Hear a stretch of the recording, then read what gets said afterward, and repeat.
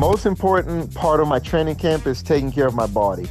You know, if I'm if I'm healthy, if I feel good, you know everything is good. So I make sure it's rest. You know, the most important is rest. If I need to take two days off, I will. If um, if I'm not feeling too good, I'll stay home and train later that day. And I just take care of my body. That's been the best thing, you know. And that way you can physical, emotionally, you know, it all starts with your body. If you're feeling good, you know, you'll be fine. So I just make sure rest is the most important for me.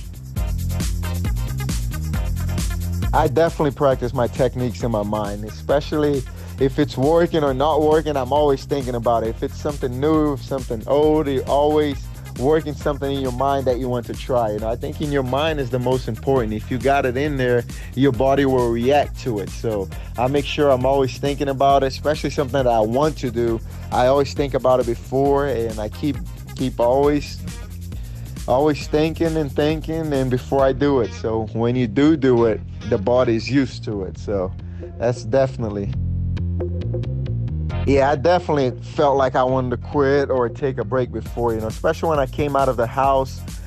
I took, you know, four, pretty much four fights back to back to back to back, and I never really rested after I did the Ultimate Fighter the first time. So, and then when I got let go from the UFC, I was just burnt. I was just very tired, and I needed a break. You know, I wanted to, sometimes even wanted to quit. You know, just knowing the road that was going to be back to get back to the UFC where I wanted to be. I knew it was going to be hard, but I stuck with it. I took a year off, took plenty of rest, and then got a few wins after that. Won the Titan FC Championship, you know, and then right after that, it was the the house again, and I got back and made it back to the UFC.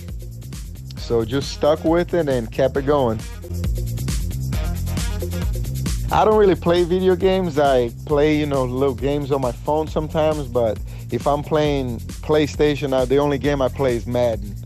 And, you know, I'm pretty good. Not that great, but, you know, I play online, have fun with it. Mostly for the fun, because I, I got a problem. I get too angry, so it, it's not good when I get stuck to video games. So that's the reason I don't play.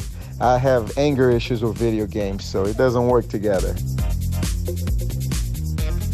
My brother was the one that inspired me to be a fighter. He was, um, I was I played football at the time he was fighting in high school, and then when I graduated, uh, I just decided to start training because of him. And you know, always looked up to him. He was always good, so it helped me, and that's why he, he's the reason.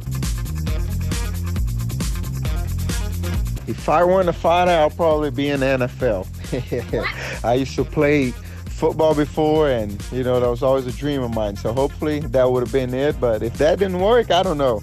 I used to work at Home Depot before and I really enjoyed it. So, you know, maybe just have a good career at Home Depot, customer service. You know, I'm good with people. So that's one of the things. But, you know, I just love sports. I always love competing. And so it worked out good.